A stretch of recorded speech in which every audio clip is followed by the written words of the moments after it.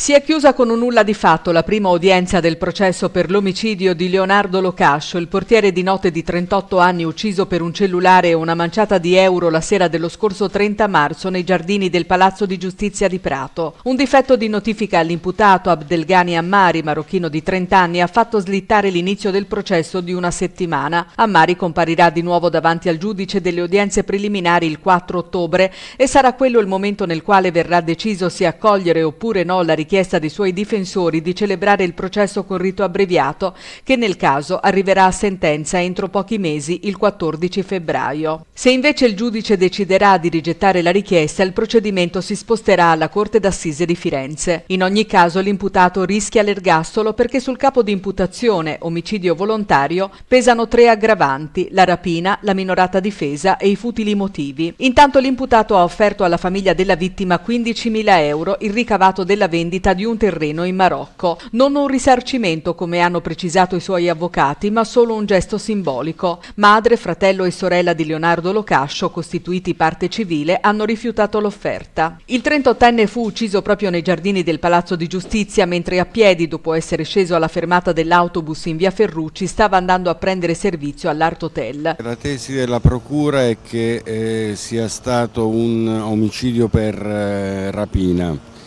Eh, noi francamente pensiamo che invece si sia trattato di un episodio ancora più grave, perché probabilmente eh, l'omicidio è avvenuto per, eh, una, per, un rifiuto a una richiesta di denaro, di qualche sigaretta, insomma, quindi un, un omicidio assurdo per eh, motivi francamente eh, abietti. La rapina eh, c'è sicuramente stata, eh, però probabilmente è legata a una volontà di ehm, inquinare eh, le indagini. Locascio, come stabilito anche dall'autopsia, fu colpito al collo con un oggetto contundente, forse un coccio di vetro, mai ritrovato. L'omicida fu arrestato 48 ore dopo all'aeroporto di Bologna mentre era in attesa di imbarcarsi su un volo diretto in Marocco.